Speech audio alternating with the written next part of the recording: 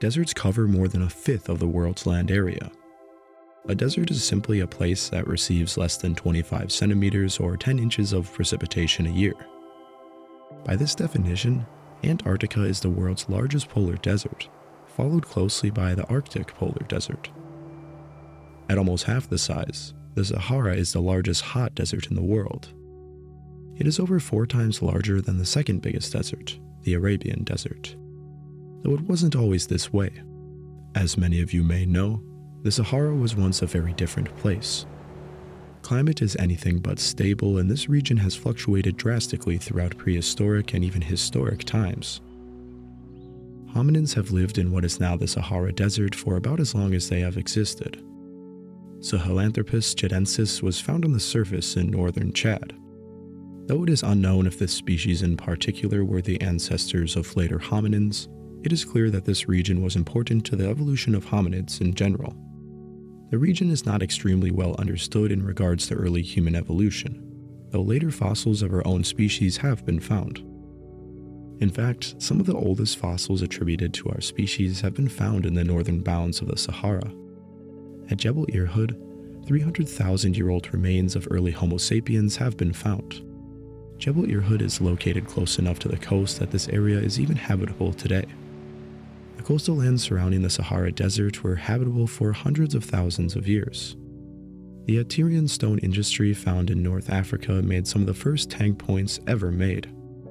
These points were very advanced for their time and may have been attached to lighter weaponry such as javelins or darts. Other aspects of their technology was among the most complex of the time. This culture may have influenced others, though it would eventually fade away.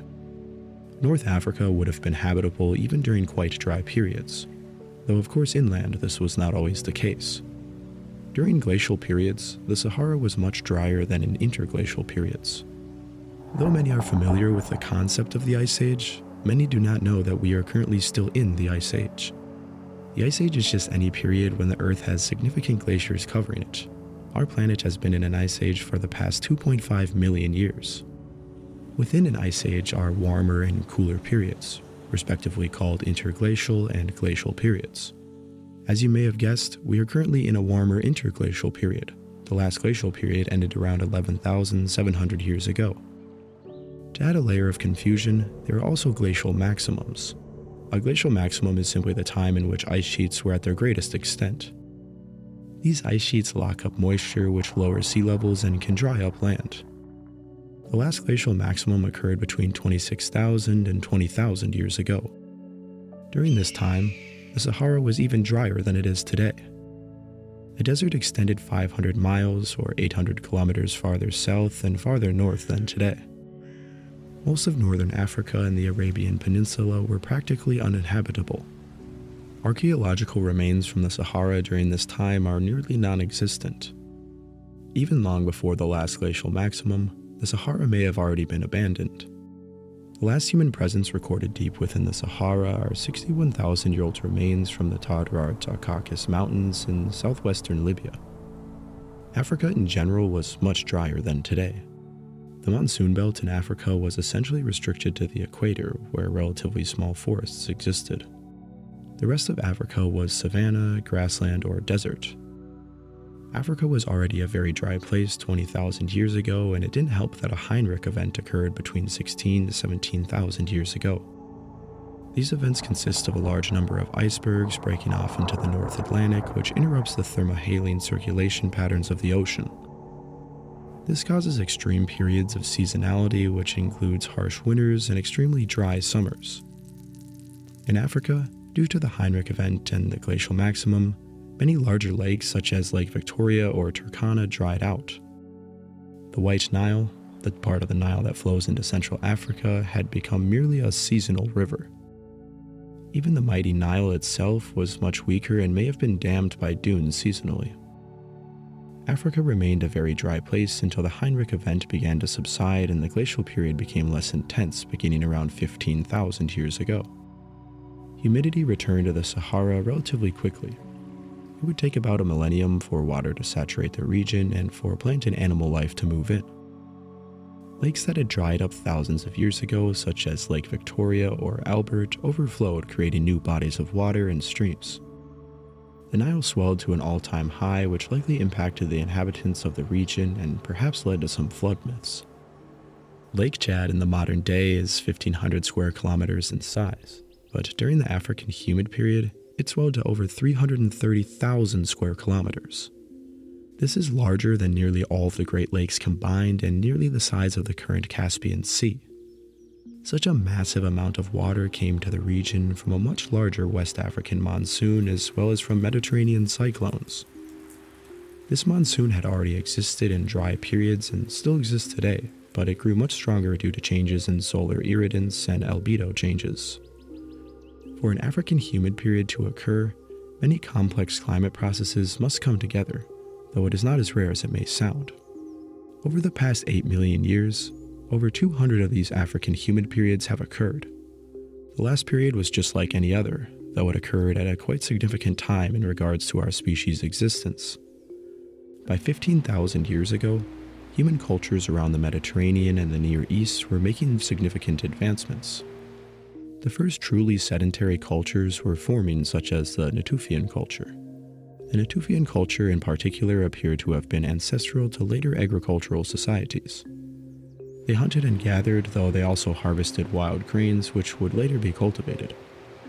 The return of moisture to not only North Africa, but also areas around the Mediterranean certainly helped the inhabitants of these regions. The Sahara is significant in the larger picture because it had long been a barrier from sub Saharan Africa and North Africa and the Middle East. But during this period, vegetation spread over nearly the entirety of the Sahara, most of the land consisted of grass covered savanna with shrubs and trees. In such a large region, the vegetation did vary. The eastern Sahara was generally drier than the west. And of course, the land was much more lush around lakes and rivers. Along with vegetation, a diverse array of plants and animals moved into the region. Many familiar African animals such as elephants, giraffes, antelopes, baboons, wildebeest, and zebras were widespread throughout the region. Large herds of these animals expanded across the entire desert, though some were still limited to regions with more water. The appearance of aquatic animals such as crocodiles, hippos, turtles, and fish are a testament to how lush much of the Sahara was. Other carnivores such as hyenas, cheetahs, and of course human hunters also followed the herds into the region. Humans lived all around the Sahara and left a lot of evidence of their activities. Archaeology suggests that humans began to move into the greener Sahara as early as 15,000 years ago, though it would take some time for the environment to become welcoming. The people who moved into this region appear to have come from all around Africa, though many from sub Saharan Africa. Prior to the African humid period, many African populations were still utilizing Middle Paleolithic stone technology. The greening of the Sahara allowed the spread of more advanced Upper Paleolithic stone technology to the rest of Africa. The populations that would come to settle the Sahara utilized a diverse array of technology. Many different styles of projectiles were made, some unifacial and many bifacial. Large stone axes, adze, and knives were made. Thin circular discs of an unknown function are found at some Saharan sites. Some of them are quite refined and are a testament to the skill of these knappers. Other remains include many fish hooks and barbed points for spearing fish. Fishing appears to have been a very important part of their lives. Some sites have piles of thousands of fish bones. Many remains of portable art and jewelry were made from stone, bone, and ivory. Cave art and rock art were also a very important aspect of their culture. One of the original clues that the Sahara may have been green actually came from cave and rock art. One cave named the Cave of Swimmers has paintings of people which appear to be swimming along with other animals such as giraffe and hippopotamus. The paintings were discovered in 1933 by Hungarian explorer László Almásy. He postulated in his 1934 book that the depictions in this cave may stem from real observations from the region though he was careful to state that it was not actually his opinion, considering it was quite controversial at the time. Nearly a hundred years later, it is quite reasonable to conclude that these people were actually swimming. These paintings date to around 10,000 years ago, a time when the region would have been lush. Cave and rock art have actually proven to be a very important form of evidence of what these people were doing all those years ago. The first rock art in the Sahara was made roughly 12,000 years ago. Some rock art may date older, though human presence does not seem to have been too significant until this time. Called the Large Wild Fauna period, hunter gatherer societies depicted mainly the large animals from their environment. Familiar faces like elephants, rhinos, giraffes, and hippos, but also bovids like Bubalus and aurochs. Large and small antelopes can also be found in these works. Humans during this period are depicted sometimes naturalistically and other times as half human, half animal figures. Hunting scenes with spears and axes are common. Bows are absent from the art from this period, indicating that the technology either had not spread to the region or it was simply not used. Symbolic depictions are certainly known in this period, and many animals have symbols covering them. What is interesting about this period is that it is relatively similar to the first art created elsewhere. Both in Europe and Asia, impressive animals were the focus of art long before humans were. It is hard to extrapolate why exactly this is. Many of these animals were hunted and therefore were directly tied to the existence of these people. Other animals may have simply been depicted because they were just inherently impressive. Whatever the case, the fact that large animals were some of the first things to be depicted in rock art may tell us something ubiquitous about the evolution of human culture. The large wild fauna period lasted from 12,000 to 6,000 years ago. Various subdivisions have been made based on different forms of art, though they are not as important for our purposes. This period of rock art roughly coincides with the onset of the Younger Dryas. The Younger Dryas was a temporary return to glacial conditions which began around 12,500 years ago. This period lasted roughly a thousand years and made northern latitudes much colder and drier. Saharan Africa appears to have been affected much less, though the Younger Dryas is correlated with drier conditions. Regardless, the Sahara still remained quite humid, and human and animal populations continued to thrive throughout the Younger Dryas and afterward. Due to the popularity of pseudoscience in recent years, I find it necessary to mention that there was not an advanced civilization present in the Sahara during this time. All of our remains display that societies in the late Pleistocene and early Holocene Sahara were hunter gatherers with many specializing in fishing activities. No monumental architecture or advanced technology has ever been found dating to this period. And no, a collapsed geological dome is not evidence that Atlantis was present in Mauritania. I can make a whole series about these lies told about the late Pleistocene, but for now just check out these videos from World of Antiquity. Anyways, Neolithic advancements such as agriculture and animal husbandry would not enter Saharan Africa until post 7,000 years ago. These advancements correlate to a change in rock art known as the pastoral period. As the name may suggest, this period features the appearance of domesticated cattle. Humans are shown herding domesticated animals, living in camps, as well as hunting. Along with these changes, the bow finally makes its appearance in hunting scenes.